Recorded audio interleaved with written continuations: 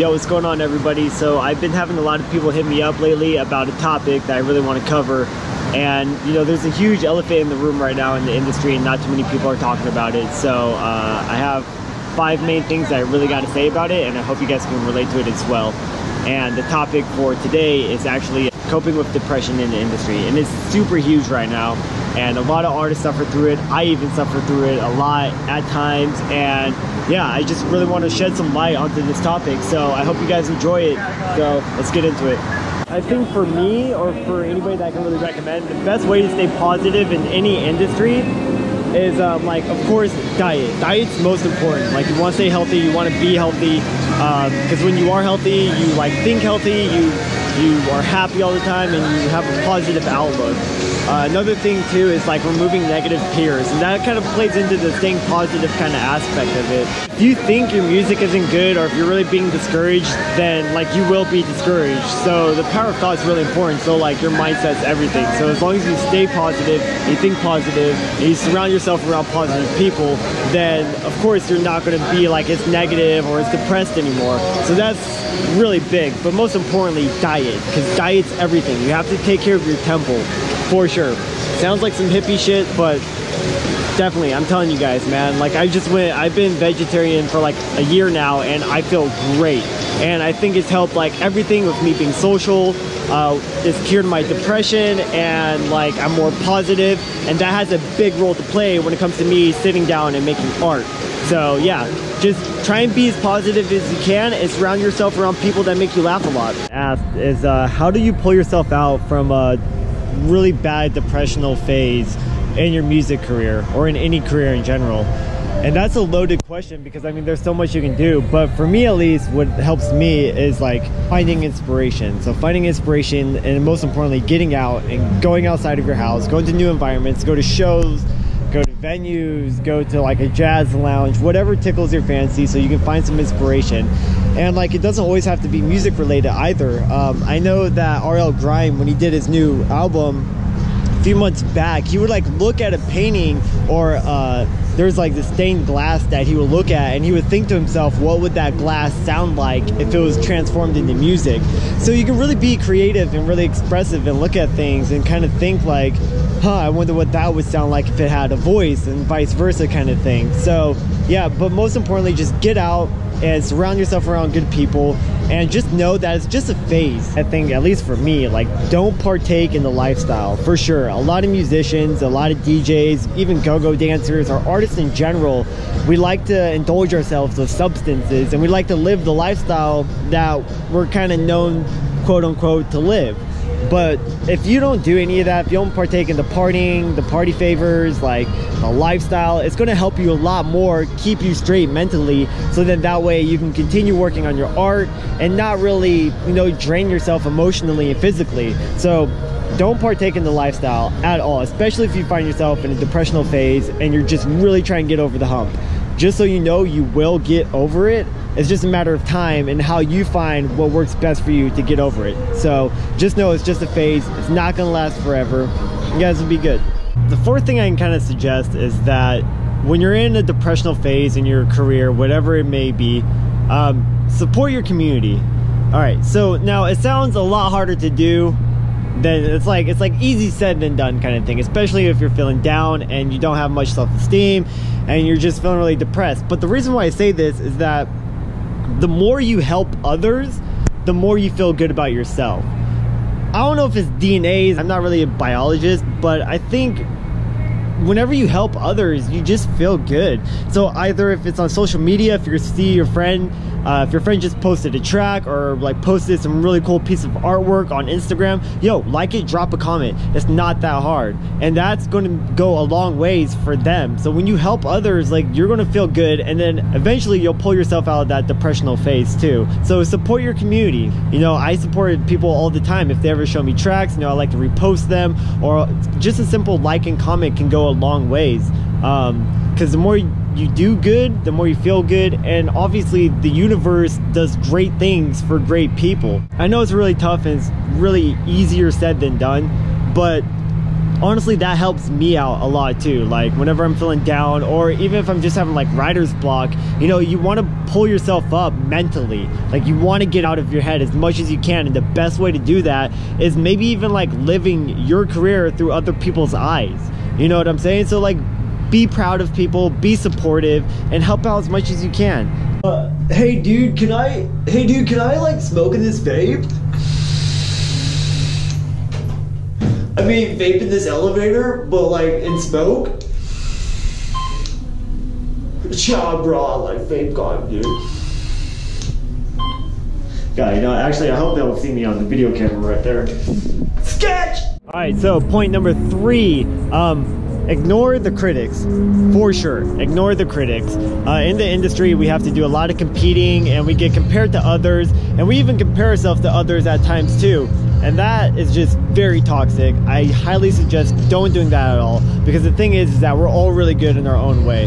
Like someone might be really good at sound design, but the percussion patterns suck, or vice versa. So we're all good in our own way, and there's no need to compare ourselves to others. And also take constructive criticism with a grain of salt, for sure.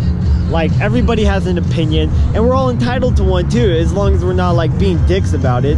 But we're all entitled to an opinion, and just remember that only that is just an opinion, and it means nothing more and nothing less. Just be your own critic.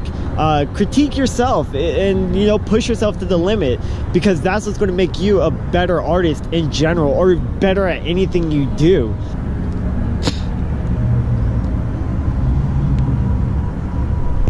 And the thing is too is I know a lot of people are starting to become successful right now and they're getting a lot of haters and even though their music is good, people just hate on what they can't relate to or when there's like a lot of jealousy or envy involved. So for advice for that, honestly, just use that hate and that spite and that envy and jealousy and use it for fuel and just smile and don't really respond. Don't get into all these comment battles on all your social medias. Like, leave that shit alone. Ain't nobody gotta see that side of you. So just make art, make sure it comes from a special place when you make it, and that's all that matters. Just have fun. Like, I know this is serious, and for a lot of you guys, this is like your guys' career, but dude, at the end of the day, have fun. Have fun. Have fun and learn to do what you do the best way you can do it. That's all that matters. I'm telling you guys. Yo, check out the stage though. Hell yeah. Just make art. It doesn't matter what you're making, how you're making it, who you're making it with, but just make art. Make anything. Do sound design, doodle if you're a painter or a drawer, you know, like build up your folder for like your samples, whatever it is you got to do, just stay active and remember why you guys started making art in the first place. Like this is our outlet a lot of you are really creative and i really urge you guys to utilize that creativity a lot of people don't have an outlet like what we do we have the ability to take negative emotions negative vibrations throw them into an outlet and make something positive. one of my best tracks that i'm really favored of I wrote after like a huge breakup. You know, I took all my pain, all my emotion, and I put it in there. So if you're feeling really depressed, no matter what's going on in your life, just do your best to take that and be creative and then make art out of it. Use it to like fuel your fire. Making art for a lot of us is our escape. So embrace that. Like if you're feeling down, embrace like how you're feeling. We're all human. It's okay to feel emotions. It's totally okay. So whoever tells you not to feel a certain way, don't ever listen to them. What you need to do is you need to embrace that feeling and then rechannel it and then make something super dope out of it. It's okay to feel human. I tell people that all the time. When people hit me up and they're like, "Yo, man, like I'm really depressed. My career isn't where I want to be. Like, and this isn't working out. This and that." And I'm like, "Good like that's that's great dude. That's actually really dope. Like embrace that feeling because eventually you're going to get tons of inspiration and that's going to drive you to get even further. So those are my five subjects on um, how to kind of get over the depressional phase in your career uh, I, I know it's still a loaded question and there's tons to be talked about still. So if you guys have any tips or tricks that you guys use, please drop them down in the comments below. I would love to hear what helps you guys.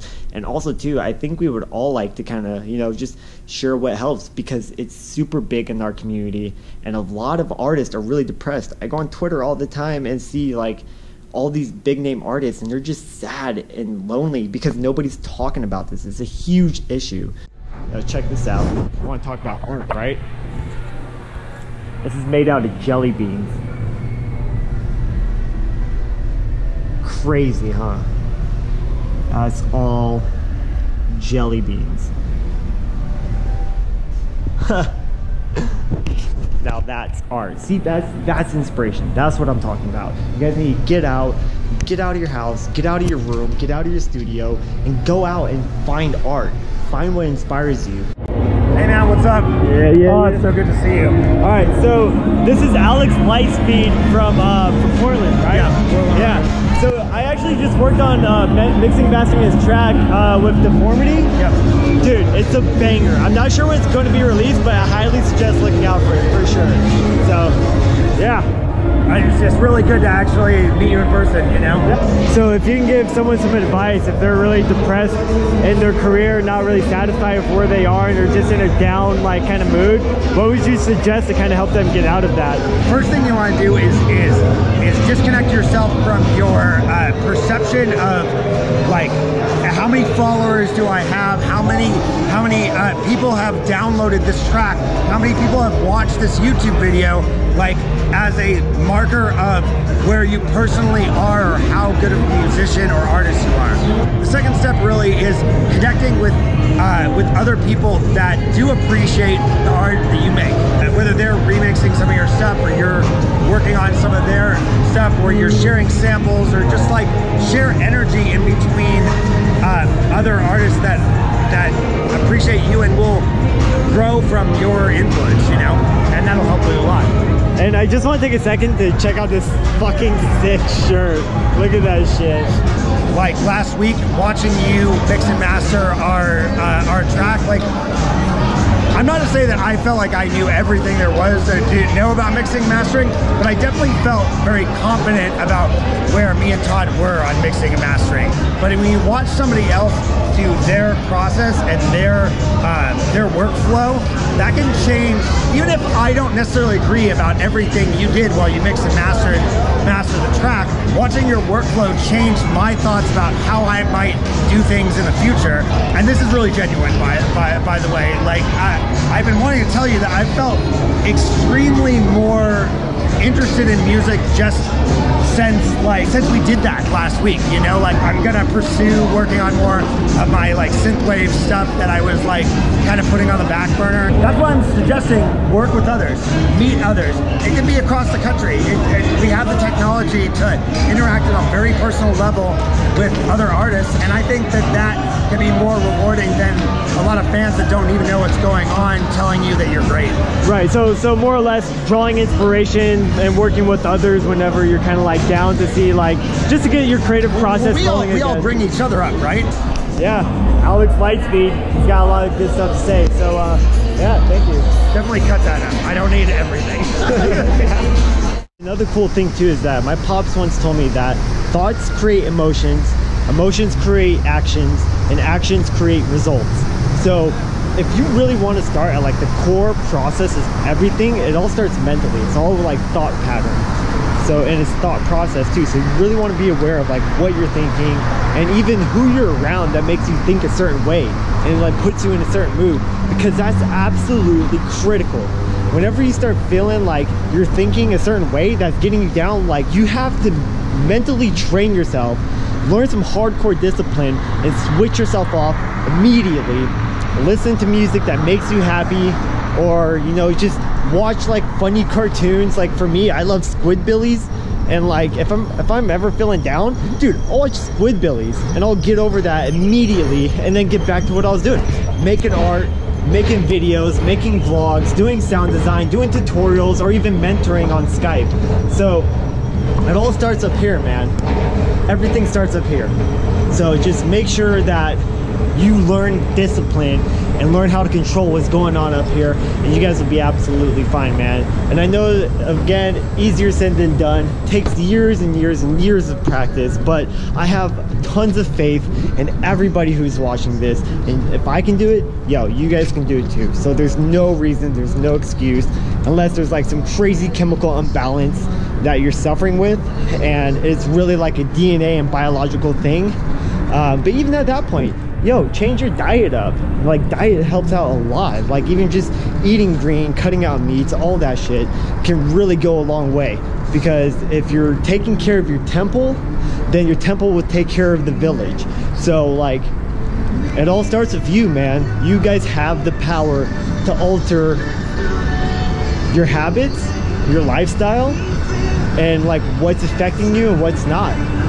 So uh yeah. And plus life is way too short to get caught in the rut and be stuck in like a depressional phase for a long time. Like life is short man. We're really not promised even right now. Like a plane can hit your house right now. I know it's super dramatic. Probably won't happen. But like outlandish shit happens every fucking day. So just do your best. Surround yourself around the best people that are really good for you you know all that drama on social medias cut that out immediately. You guys don't need any of that because all that's just toxic anyways. So yeah i hope this uh, really helped you guys out.